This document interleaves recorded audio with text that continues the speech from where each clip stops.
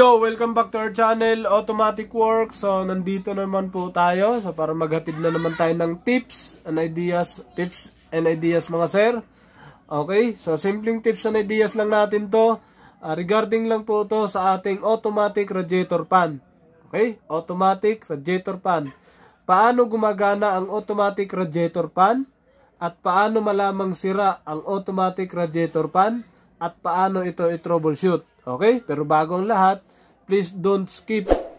Okay? Huwag muna kayo mag-escape para everybody happy tayo, mga ka-automatic. Okay? Para malaman mong gumagana, so umpisa na natin, para malaman mong gumagana ang automatic radiator fan mo, para lang po ito sa mga sedan ha. Mga sedan, mga gas, Uh, pwede na rin mga diesel engine pero dapat mga sedan lang. Hindi pwede yung mga makina na naka naka ano na po, mga rear wheel drive na, yung mga malalaki na po siya, mga diesel na mga naka, yung pan niya ay eh, makina na nagdadala. Ito po ay sa mga mga automatic radiator pan lang po ito, okay?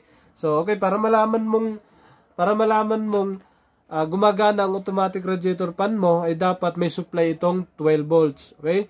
Dapat wala itong sira at nasa good condition ang kotse mo. Kapag pinaandar mo ang kotse mo, at dahil malamig pa ang tubig sa radiator ng kotse mo, malamig pa ang tubig sa radiator pan mo, ay hindi po ito agad gagana. Okay? Huwag mo nang magbukas ng aircon.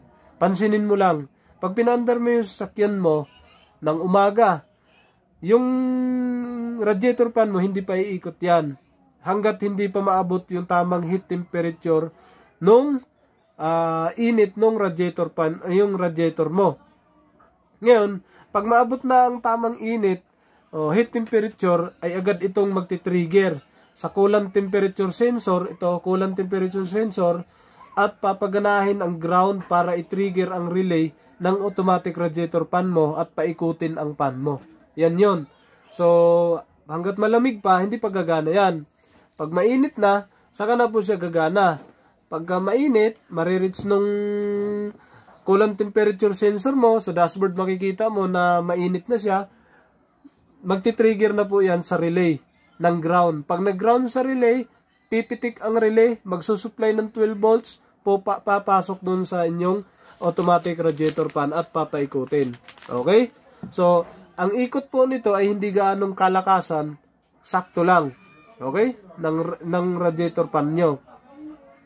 At pagkatapos ng 5 seconds o 10 seconds o 15 seconds, depende sa setting ng coolant temperature mo, ang radiator fan ay agad itong mamatay upang papainitin naman ang tubig na dadaloy doon sa makina mo na iikot-ikot sa makina mo na isa itong kailangan-kailangan sa makina ng kotse mo. Okay? Kailangan din laging hindi laging malamig ang ano kasi para hindi malakas masyado sa gasolina, dapat timpla.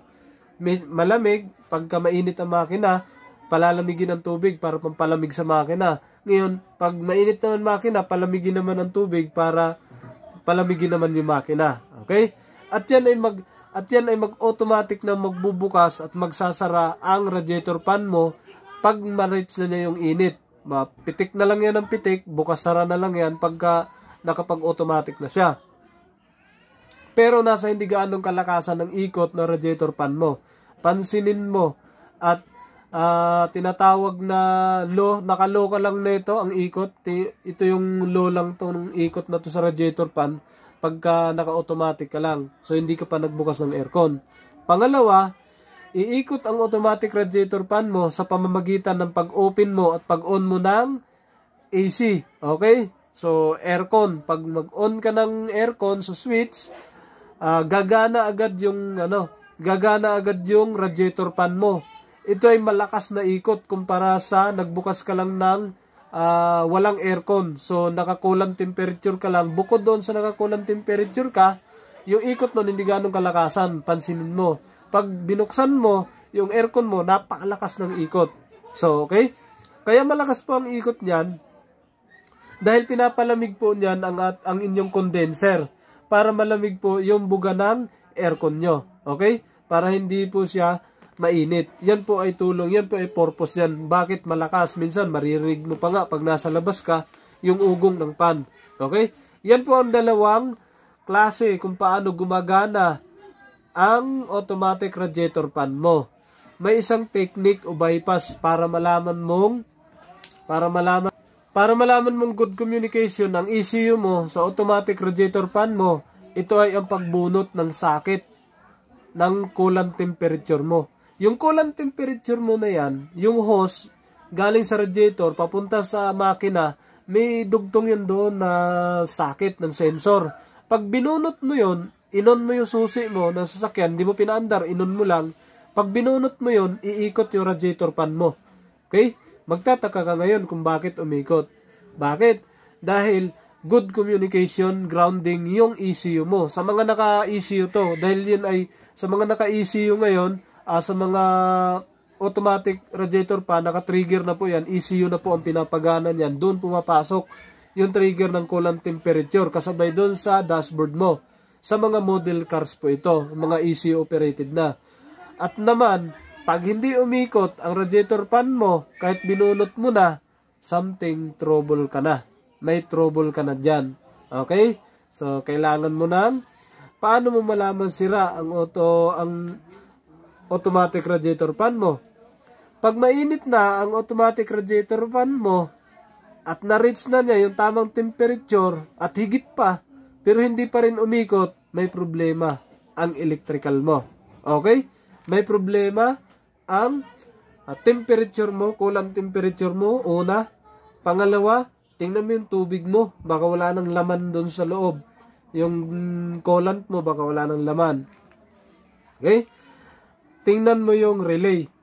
Tingnan mo yung fuse, okay? So, pag on mo ng aircon at hindi din umikot, may malaking problema din yan. Paano i-troubleshoot? Pwede mo munang ipa-scan. Kung may scanner para mabilis mabasa, kung model cars yung gamit mo, Toyota, Mitsubishi, ano pa, pwede mo ipa-scan para makita ka agad kung may pyesa o may sensor siyang sira. Okay? Uh, pangalawa, i-check ang fuse tsaka relay. Kung good naman, i-check ang wirings kung may sunog o putol.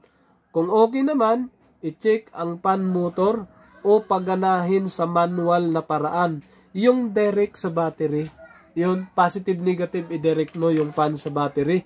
Pag umikot, good yung pan, uh, pan motor mo. Pero pag hindi umikot, may problema ka sa system. Okay? Sana may napupulot kayong konting aral sa ating konting tips and ideas. Uh, dahil ang maayos na radiator fan ay makakaiwas ka sa overheat na napakalaking problema mo sa sasakyan. Mapapakamot ka sa ulo, mapapakamot ka sa bulsa, mapapadukot ka pa sa gastos at malaking abala pa ito. So, yun lang po mga ka-automatic por automatic works. Uh, sana tuloy-tuloy pa rin subscribe, uh, panood, pag-like, comment lang po kayo sa baba kung medyo naguluhan kayo. Pag may katanungan kayo, leave po kayo ng comment, please like and subscribe. Yun lang, maraming salamat, Automatic Works.